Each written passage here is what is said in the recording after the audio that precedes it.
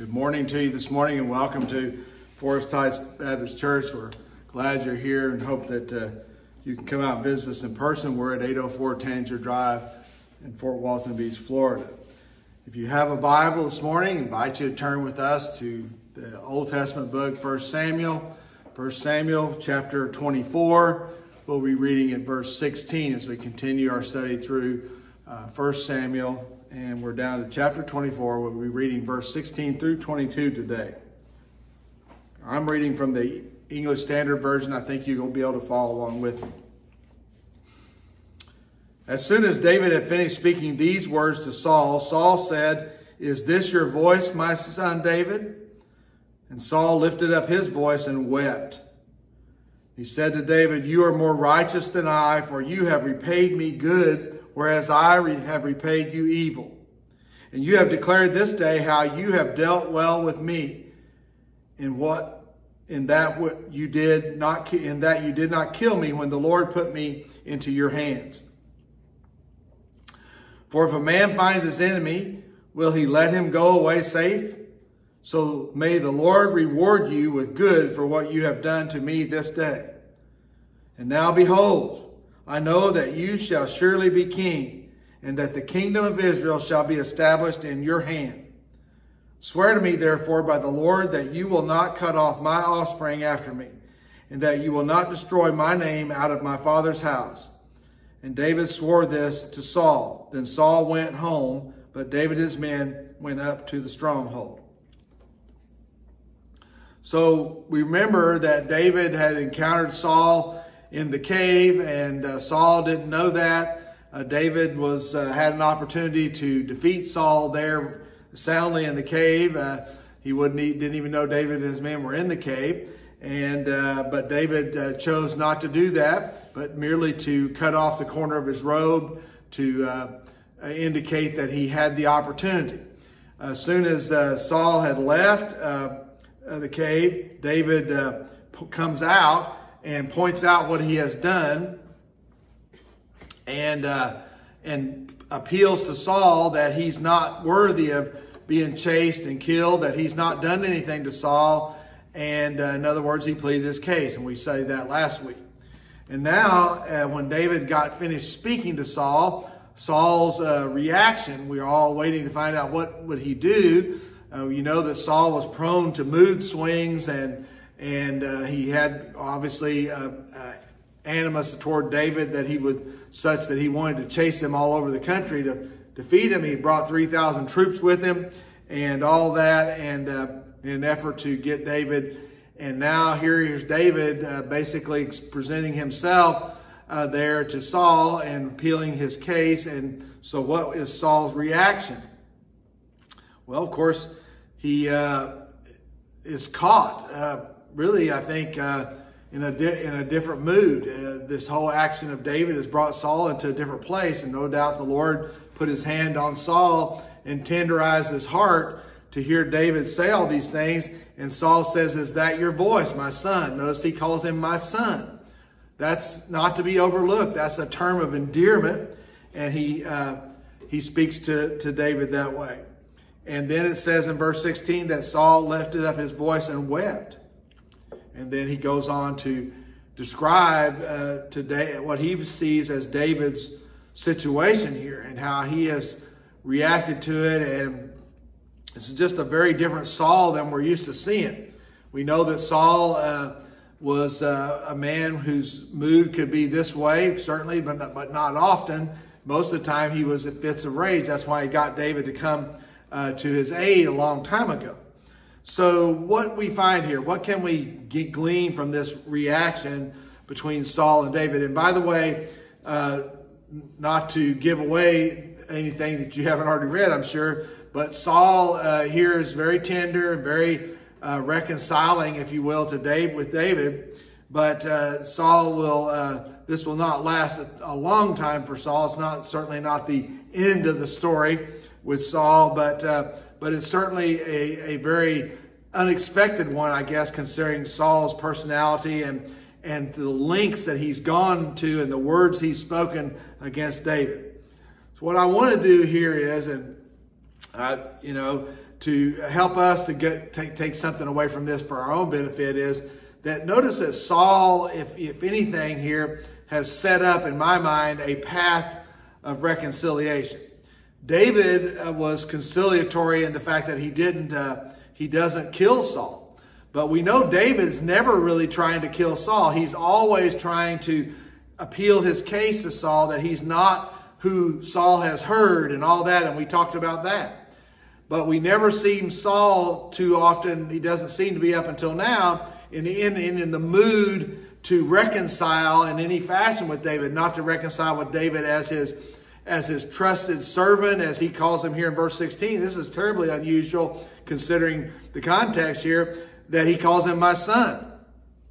And it's also unusual that he acknowledges that David has done something that he hasn't done. He's returned good to evil. And that uh, other thing we notice here that David, that he says, David, you're going to be the king, which is the whole problem Saul had anyway. He was jealous of David and so on and so forth. And so uh, he also uh, makes a request that, you know, as the king, he didn't have to request, you know, he didn't request things, he ordered things and they were done. So you see a different Saul here. And I think that Saul is demonstrating uh, from the point of view of a person like Saul who was angry, moody at the very least. Angry certainly was his most common mood, the one we read about, fits of rage and, and just, just obsessed with getting rid of David and jealousy and all the things that we know about Saul up to this point. He represents here an unusual and perhaps unexpected reconciliation.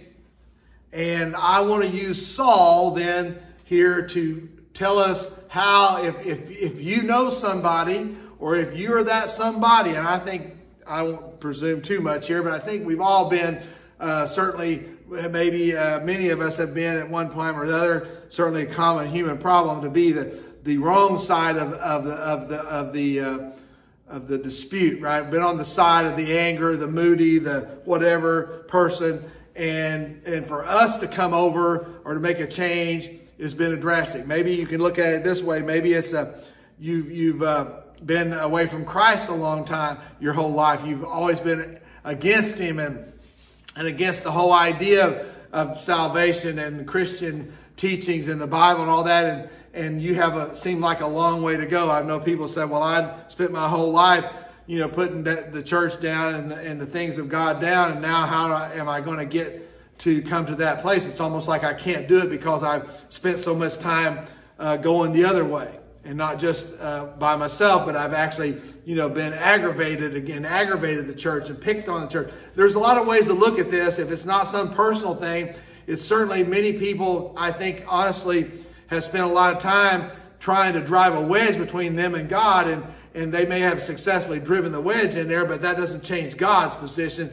But for them to come over is a very big hill to climb in, in words that we might often use. So, what I want to do here is I want to help us see a path to reconciliation uh, from that side of the fence, not from the person who's offended. David's already shown his side, and he was always trying to reconcile with Saul, but uh, Saul was the one who kept it going. And I made this so that you can maybe remember this, right? Uh, maybe you can remember this. Uh, and and maybe you, the, this word will go. The, the, so the points are going to be these wor- words that relate to this letters of the word reap, R E A P, reap. So if you want to find a path of reconciliation, or you're trying to help somebody who's that far away, here is the word reap, and maybe it'll help you remember the steps. One of the things we want to notice right away, though, uh, is that David uh, has gives Saul a soft answer. David was uh, gave Saul a soft answer. He didn't approach him with hard words. And the Bible says in Proverbs that a soft answer turns away wrath, and harsh words stir up anger. That was Saul. He was the harsh words guy. David was the soft words guy. And on David's side, Again, we want if we're trying to exemplify this and we're helping people, remember this other Proverbs 16 32, where it says that whoever is slow to anger is better than the mighty, and he who rules his spirit uh, than he who takes a city. In other words, the person who's slow to anger and is able to control himself is greater than uh, than the person who can can overcome a city. Well, this is again David and Saul. This is the this is the kind, soft answer David up against, and he was not a soft man, but a soft person in that sense. He was, but, but he was a great warrior, but he was also very kind to Saul, even though Saul done nothing to deserve it. So he's exemplifying what the Bible says. And uh, Saul is maybe at this point, God, as the Bible, as God puts it, the words puts it, God's words never return void.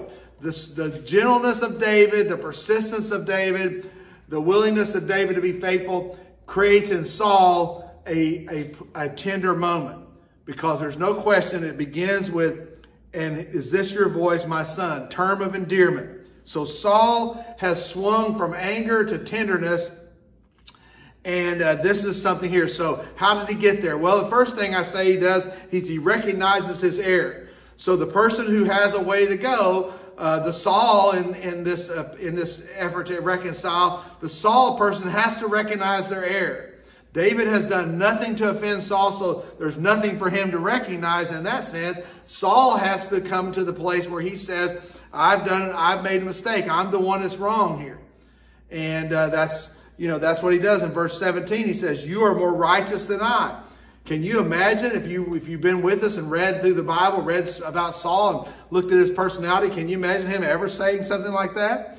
This has to be the work of God in his heart. You know, when people come to Christ, they have to be willing, the Bible says, to confess our sins. We have to own up to the fact that we can't get there by ourselves. That's confessing your error. That's recognizing your error. So the reap has uh, a first letter R, recognizing your error. He says to him, you have repaid me good where I've repaid you evil. He doesn't just say, I made a mistake or two. He says, You've actually done better than me. You've, you've not just been neutral, but you've given me good versus my, my giving you evil. And this is something that he says in verse 18, You dealt with me well.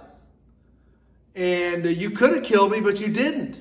And notice what he says when the Lord put me into your hands. Saul recognizes that God has, has put him in the place where he could have been killed by David and David didn't. So Saul is, is, is open to the idea there that he was wrong. And then he says in verse 19, he says in the first part of it, he says, if a man finds his enemy, will let him go away safe? Again, Saul recognizes the common way that people do business. If you have an enemy, you never ever uh, change that. You try to get even or you try to raise, do whatever the score is, even at the score, right? And so Saul is expressing on this path to reconciling with David, and it's really reconciling with God, isn't it? And isn't that what really people do when they come to Christ? They have to reconcile. Recognizing our error in the situation is the first step. The second thing is to esteem them before the Lord. What does that mean? We need to, we need to recognize the person who has made this possible.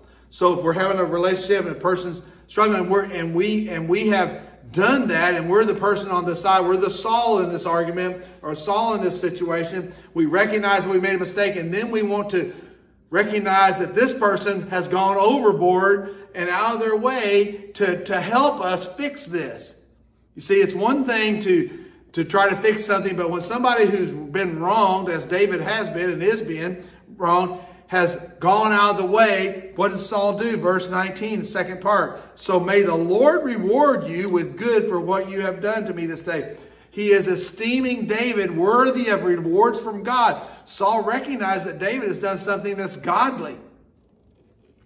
And uh, may God bless you for that, right? May God reward you for that. So he esteems him, uh, David. And so when we're in this situation, if we're the Saul person in that argument, and we want to recognize our error and we want to thank the person, if you will, to esteem them, to thank them for this idea that they came and went out of their way to make it possible for us to do this. And so when you do this, you have to stop and think about this. Saul recognizes something here that's way bigger than David and him.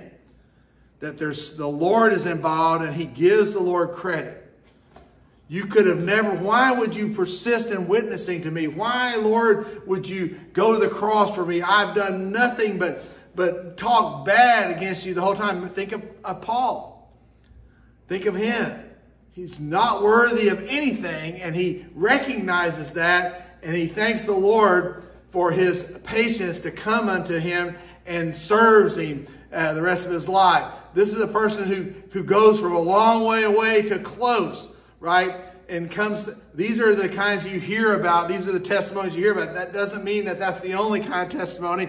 Although the Bible says we've all sinned and fallen short, we recognize that some people have gone out of their way to, to disavow the church and all that goes on there versus other people who just kind of quietly, you know, didn't do anything and just kind of lived their life. And I don't know. I honestly, goodness, I think the people who who pretend to be Christians or pretend that the church is irrelevant and doesn't even take up the time to to ta- tackle it are the more dangerous and the more farther are the farther away people. But anyway, he recognizes error and then he esteems, right? He esteems them. That would be David. In this case, he, Saul esteems David before the Lord. You and I need to recognize the person who has who has brought this to us and who is the one in, that we have come against and and ask the Lord, thank the Lord for them being willing to, to try to make up with us. You know, so many times there's relationships when we've broken the relationship, we've been the Saul in that relationship, we've broken it, and we really want, wish we had it back, but our pride gets in our way and won't let us, you know, uh, say anything. We can't even give them a thank you for sticking with me on this because I know that I've done nothing to. Uh, to earn this. That's what Saul is saying in verse 19. So we recognize, we esteem, and then we acknowledge. So what does that mean? We're going to acknowledge their position. What is he doing? Now look at verse 20. Saul recognizes that David, that he was in error and David wasn't. He also lifts up David before the Lord and thanks the Lord for David doing something that's above and beyond and gives God credit for that. And then he says, now, what is he doing? He's acknowledging uh, further that David uh, is going to be the king, that he is right in his position. In words, the assertion was that God had blessed David to be king, and Saul was jealous of that, and that was it. And so, what does Saul do? He doesn't just acknowledge, doesn't just lift David up and move on. He acknowledges that the that the other person was right. David, you're right. You are king. You will be the king. Everything's going to be as it was said, right? He acknowledges it. So he recognizes, he esteems, he acknowledges. Sometimes it's so hard. I mean, all these are hard. I, I think any of them were easy. Uh, maybe you did, but I, I did. I think they're that easy making up. When you've been the bad guy in the situation, it's really hard to make up. It's really hard. Our pride gets in our way, as the Bible often talks about, and Saul was loaded up with it. He had a triple dog, double dog, dose of it. And that's what got him so jealous and so upset and so moody. And he took advantage of his own, apparently, maybe he had some sort of issues or something with his anger. It was out of control. And he would have these horrible mood swings and things. And David came, comes and helps him. And then the very person who helps him the most, he, uh, David didn't pick himself to be king. It was God's work. And, and Saul gets jealous of that and jealous, jealous of David's successes, which were really put David laid him at Saul's feet and said, "Here, you know, this is for you. I serve you, King. I'm your warrior. I'm your uh, musician. I do all these things. I do it for you." And Saul, in his ego, is expecting that and much more, and, and his ego drives him and drives him. Well, he acknowledges this before David that you're king. This was a big deal. The hardest thing to do is acknowledge that, that the other person was right or whatever they're whatever they're proposing that caused that we got this relationship wrong. When we're on the Saul side, now I understand you've been on the other side, okay? Most of us have plenty of times. I, as a matter of fact, if we did a survey of people, I assure you that there is not a human that I could imagine that I would run into who has not been wrong by more than one person. The David. In other words, there's a David Saul thing going on here, and we're not talking about David. We're talking about the other side. Everybody's been wronged. Matter of fact, there's only two things that most people talk about in Baptist churches. One of them is what all somebody's done to them that's wrong, and the other is, uh, you know, about their health, right? I mean, that's just the way it. Know. you know, maybe that's not always the way it is, but you know what I mean. Everybody's got a list of what all they've been done wrong by. All right, think about this. Imagine that you're Jesus and look at your list. it goes back to the very beginning. All those people have wronged you. All the way up. And it doesn't just stop there, it goes right on into the future and all those people. Imagine that you had to suffer a punishment, if you will, for them. Wronged, never did a thing wrong. Not bruised anyone, right? Not anyone, right? That's what it is. All the iniquity was laid upon him. Imagine that.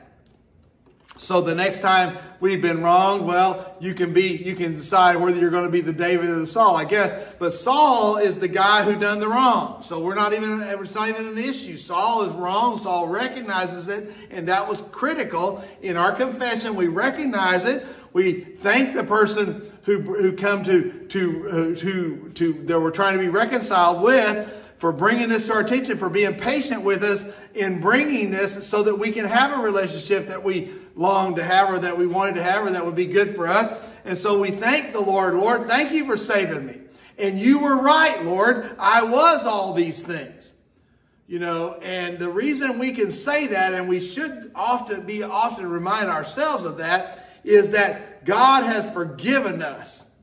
He has forgiven them. Not to remember how bad we were so we can go off and get depressed, but remember how much God has done for us. And if He'll do that, well, these little easy things that we want Him to do sometimes that we're so remiss to ask, He'll do those too. That He cares about us. That's how much God cares about us. And so He acknowledges his the position he has in verse 20. He says, I know that you will surely be king and that the kingdom of Israel shall be established in your hand. Very important thing. Very important that we recognize, esteem, and acknowledge. So we got three letters of our word reap here. All right. Now we need to go on. Notice what happens. So Saul says, you know, I'm wrong, and thank you for bringing it to me, and uh, thank you for uh, that you're that I know that you're right. It's not just that I'm wrong, but that you're right. Sometimes that's a big hill. That's got to be one of the hardest things if, if the initial state is that. And then he says, "Okay, you are right. May I make a request?" He says, verse uh, verse 21. Swear to me, therefore, by the Lord, that you will not cut off my offspring. Now, understand the context of this. It was very typical, very normal uh, just as considered to be the thing to do. Whenever a king takes over another king, they eliminate all the potential heirs. That means they take out the whole family so that nobody says they've got a, a right to the kingship by some sort of bloodline or something like that. They get rid of all the heirs. This was a common thing that happened in that culture. So he says, uh, he says, don't, don't do that. Please don't destroy my name out of my father's house. You have to understand the, the culture and the history to understand this was a big deal. Saul's not saying, I'm not worthy of it, but do this for me uh, in honor of my recognition here. I'm willing to, will you keep some of my family? Will you not destroy my whole family? So that my name may be preserved in the country, in the land, right? It was a big deal to not be eliminated, to, to be a, uh, completely eliminated. And so he asked David to do that as a, as a, as kind of a, a favor to him and uh, in, in, his, in his humility here. And David says he will. He says he will. So what we, what's our last one? Well, we got recognized, we've got uh, esteem, we've got acknowledged. Now we've got preserve the relationship. So what does this mean? So once Saul has has, has been willing to acknowledge he's wrong and David's right, the person on the Saul side, the person who, who created the problem, is now trying to fix the problem, uh, right? Needs to try to preserve the relationship. We, we had a relationship and I broke it. It was my fault. I did all this stuff. I was wrong. You were right. And uh, guess what? I want to preserve it. Sometimes people are willing to go all the way through step three to acknowledge that you're right and they're wrong, but their pride, that, that, that terrible thing gets kind of stays laying down there and they will not make an effort to preserve. In other words, not to just say, okay, you're right, see you later, and leave me alone. But basically to preserve a relationship, to keep that connection going, right? That's a, that's a big deal because we all are, when we're hurt, when we, when we, and um, listen to me, If you're the, the herder, when you realize that you're the herder, that you've done the hurting and that you've created the problem and you've owned up to it, that doesn't take away your pain. that doesn't stop you from feeling like, listen to me, how, see if this works, right? So you come to Christ, you say, Lord Jesus, I was wrong. Lord Jesus, thank you for even making it possible for me to even be willing to, uh, to, to, be able to come to you. Thank you. I praise your holy name. And Lord, I acknowledge that in all I did, I was wrong. I was a sinner uh, without hope in the world. Did all that stuff that you and me both know, Lord, that I can't even remember.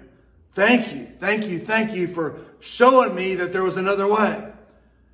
And now then, when we expose all that raw emotion, all those feelings, all those failures, right? When we expose all that stuff, does that make you feel good? No. Just because God says, I forgive you, does not change that immediate feeling that you have made such a disaster out of your life. You spent X amount of years, days, months, weeks, whatever it is, failed. Terrible. Nobody likes to fail. Nobody likes to fail. Nobody likes to think that they've wasted time. Oh, the years I've wasted, right? We sing about it. That, that all is this all true, right? That, that, that you've been forgiven and God has said, I will, and you accepted that as insist. But guess what?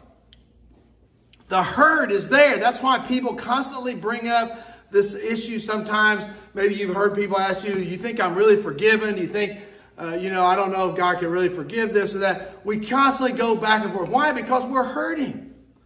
We're hurting. So, what we need to do is we need to recognize that this is reality and we want to do something to preserve the relationship. We don't want to just have it, acknowledge it and say, Good, thank you very much. Uh, now I'll go off and die in the woods because I've been injured here and I've done my own injury and my own injuries. The things I've done are my injuries, right? The things I've done when they're exposed and put out here become a, become a pain to me, a hurt. And if you don't deal with that, if you don't try to preserve the relationship over these injuries, then you'll keep the injuries and let the relationship go. You'll, you'll be afraid to face that person or talk to them because you feel like every time it happens, you're back to square one again. This is why God says, I have forgiven you and I have, listened to me, He says, I have cast your sins as far as the east is from the west. I've cast them into the deepest ocean. In other words, I'm putting this behind us. I'm done with this. Jesus said on the cross, It is finished. I've done the deal. So that means that I, as I have done, you, if you follow me, I will do for you. So he says, Preserve the relationship, leave it where it is. Move on from here. Good news is, it's true, we've wasted a lot of time, we've wasted a lot of years, we've wasted a lot of energy, but the Bible says that God will restore the years the locust ate. How does that work? I don't think He's going to make us that much older necessarily, but I think He's going to make it so that we can accomplish things that we couldn't accomplish before, and we do that, right? Sometimes it's just beyond understanding how God can do that. I have sometimes I just have to say I just don't know how.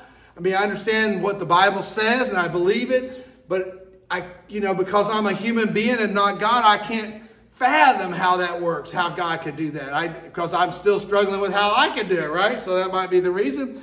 Uh, sometimes this uh, out of Proverbs will be helpful. I know you know it, 3, 5, and 6. Trust in the Lord with all your heart. Do not lean on your own understanding. In all your ways acknowledge him, and he will make your uh, make straight your paths. In other words, we need to trust God. Whenever God says, listen, I've forgiven you, then we need to preserve the relationship. What does that mean? We need to get busy in the, in the, in the context of Christianity here and, and following Jesus. We need to try to you know, become more familiar with God Himself. That relationship that was broken, we're trying to preserve it. So we need to get together and say, you know, come and join a fellowship, come and study together, come and grow together with each other, build those relationships within the community of believers, and to preserve that relationship. Saul said, Listen, I was wrong. Do not blot me out. Do not blot out my name. my family. So that, that inheritance, if you will, that going forward is kind of felt, brought out in, in the way that we decide as, as people who've been, who come to the cross and said, Jesus, forgive me. And we want to go out and learn. We want to become disciples. So, you know, this has been about the relationship rebuilding and path of to reconciliation. How do we re- reconcile a relationship? Well, we acknowledge the fact that we've all been David. More people got more David stories than they do Saul stories. I'm pretty sure that most of us have been Saul about as many times, if not more, than we have David. But you know, you know, the memory's selective about the good when I was bad and when I was good, right? So we don't remember when we were bad. We only remember when we've been really good. But the fact of the matter is, we looked this morning at Saul. Saul is the guy who was wrong, who was doing the wrong things, and now he's confronted with that situation in the humility and the David, and he, and he recognizes that he was wrong. He lifts up David before the Lord, and he's willing to acknowledge his error, his, his position. David is truly the king. God, you're the king. You're right. I was wrong. Listen to me. What do I got to do to preserve that?